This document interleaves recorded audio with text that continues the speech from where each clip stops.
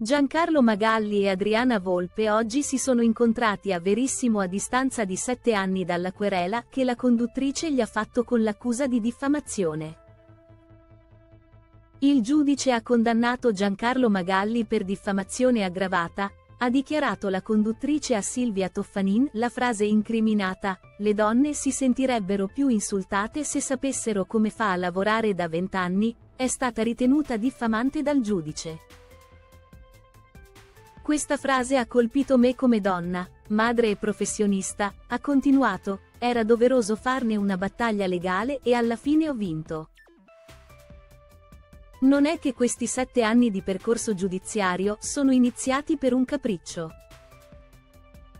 Adriana Volpe, le critiche alla RAI.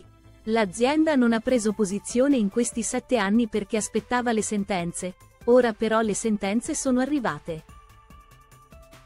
Ne ho fatta una su Roma e una su Milano perché nel frattempo ha rilasciato un'altra intervista diffamante e anche in quel caso ho vinto.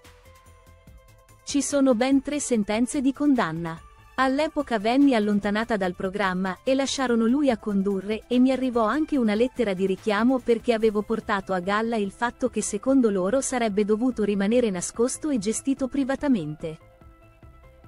Io non sono stata reintegrata, dalla RAI, NDR, nel mondo dello spettacolo non siamo dipendenti.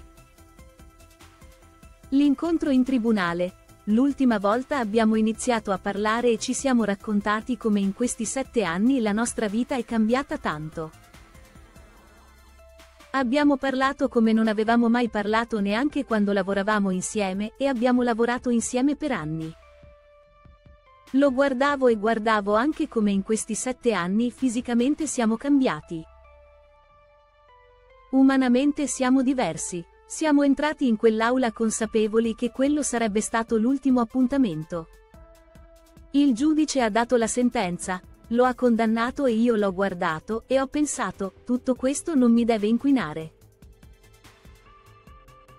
Così mi sono avvicinata e gli ho detto, posso darti un abbraccio perché ne ho bisogno?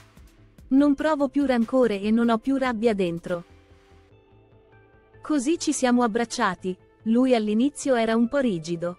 Poi ho sentito un vero e caloroso abbraccio.